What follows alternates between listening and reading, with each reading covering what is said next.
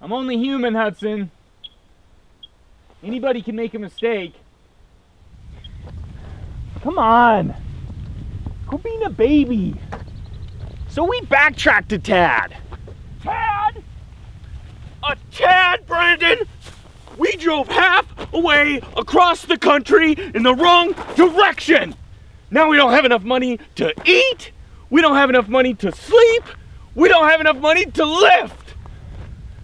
Well, it's not gonna do us any good sitting here whining about it. We're in a hole. We just have to dig ourselves out. You know what? You're right. You're absolutely right.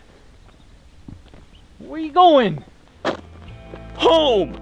I'm walking home! Well, pardon me, Mr. Perfect! I guess I forgot that you never make a mistake!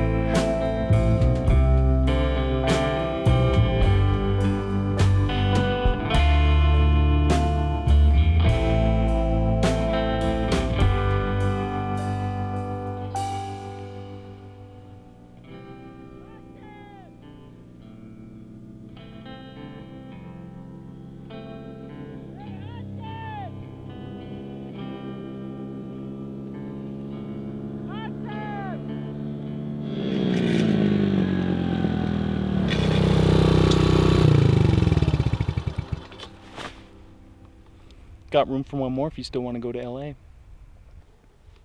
Where'd you find that? Some kid back in town traded me the Bronco for it straight up.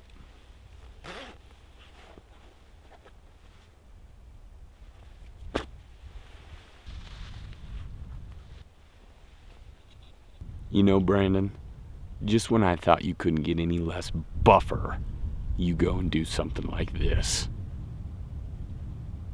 And totally redeem yourself! You still want to go to LA? oh, yeah!